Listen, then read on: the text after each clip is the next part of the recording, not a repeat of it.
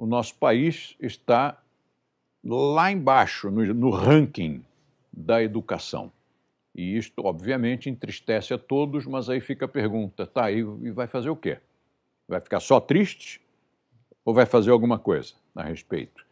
E a resposta que nós normalmente recebemos é: mas eu sou um, apenas um cidadão, eu sou uma pessoa. Que poder eu tenho? Que poder você tem? Você tem o poder do voto. Você tem o poder de colocar lá em cima uma pessoa que realize e que realize as coisas na direção certa. É um poder muito grande.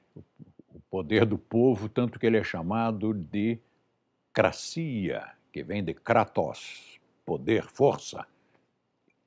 Poder de quem? Demos. Democracia, o poder do povo. Mas se o povo não quiser exercer esse poder e vota em branco, ou anula o voto, é uma coisa impressionante, é chocante.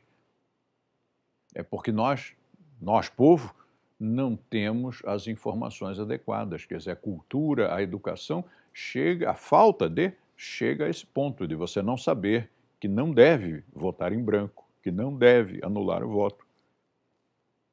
Que as coisas que você imagina que isso teria de positivo são, são mitos, são lendas, não é verdade. Verba para educação. Na verdade, verba para educação não está faltando, não.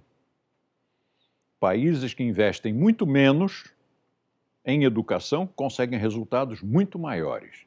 Salários dos professores. Poderia ser melhor? Claro que poderia. Mas não é isso. Não é uma questão só de remuneração, não. É uma questão mesmo da estrutura da educação.